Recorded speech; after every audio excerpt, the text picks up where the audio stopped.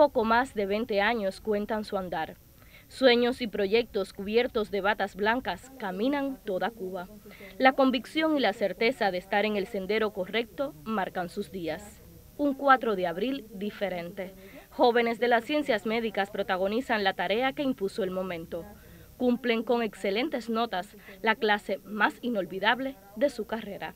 Los jóvenes, si bien no están de cara en estos minutos, de cara a un centro de aislamiento, no están de cara a un centro de contacto o no están de cara a las actividades asistenciales propias, están en una tarea de gran relevancia.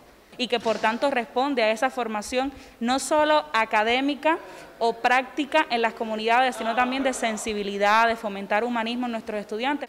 Y además que la han asumido con mucha valentía, con mucha honestidad, con mucha humildad y sensibilidad a la vez porque representan ahí en la comunidad donde están, representan eh, el valor de la revolución cubana. En tanto, los más pequeños, desde la inocencia y el aprendizaje, realizan lo que corresponde, pero todos apuestan por Cuba. No estamos en la escuela porque hay una enfermedad por todo el mundo y que tenemos que también cumplir las medidas para protegernos, para por retornar a la escuela para pasar de grado. Sabemos que es una manera típica de celebrar el 4 de abril. Yo pienso que no hay mejor manera de celebrarlo, así los estudiantes y los jóvenes.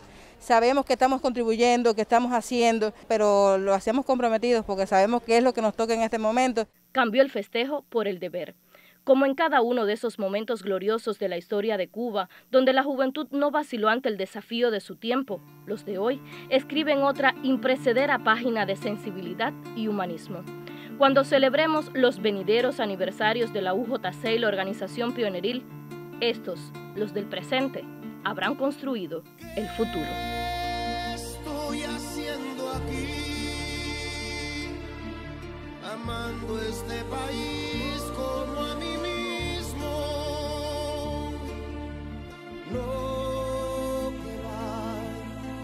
heroísmo. Vine a darle un beso al mundo y nada más. Susel Domínguez, Sistema Informativo de la Televisión Cubana.